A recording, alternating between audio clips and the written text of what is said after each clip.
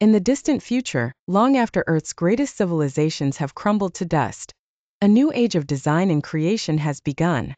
On the remains of forgotten worlds, where the ruins of fallen empires whisper tales of glory and loss, a group of extraordinary architects emerges, visionaries with the power to reshape entire civilizations.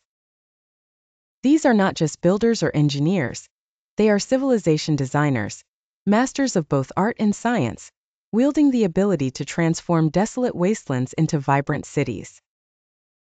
With minds that bend reality, they manipulate space and time to craft awe inspiring metropolises that shimmer like jewels across the stars.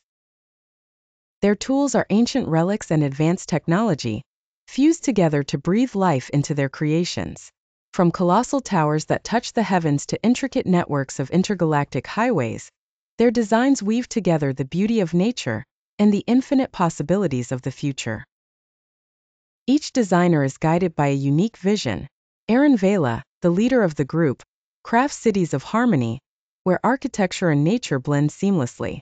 In her hands, the buildings themselves grow like living organisms, their walls pulsing with energy from alien flora. Kaelus Ryn, the master of technology, forges sprawling metropolises of glass and light. His cities are powered by cosmic energy, with streets made of stardust and transportation systems that warp through space in the blink of an eye.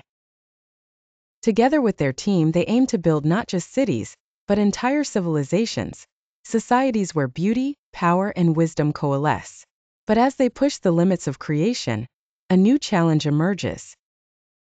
An ancient race of architects, thought to be long extinct, resurfaces from the depths of the galaxy. Known only as the Eternals, they are the original designers of worlds, beings who once controlled the fate of entire star systems. Their designs, however, were not born from a desire to build, but to control. The Eternals seek to reclaim their position as the rulers of all civilizations, threatening to undo the delicate balance the new architects have worked so hard to create.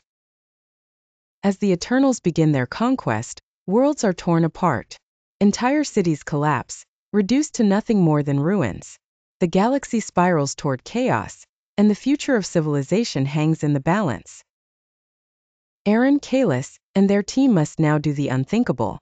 They must redesign the very fabric of reality to defeat the Eternals, turning their creations into weapons, their cities into battlegrounds. It is not just the physical world that they shape, but the fate of every living being within it. The architects are forced to tap into powers they never knew existed, bending space, time, and matter to their will. They create worlds that shift and change, cities that defend themselves, and designs that break the very laws of physics.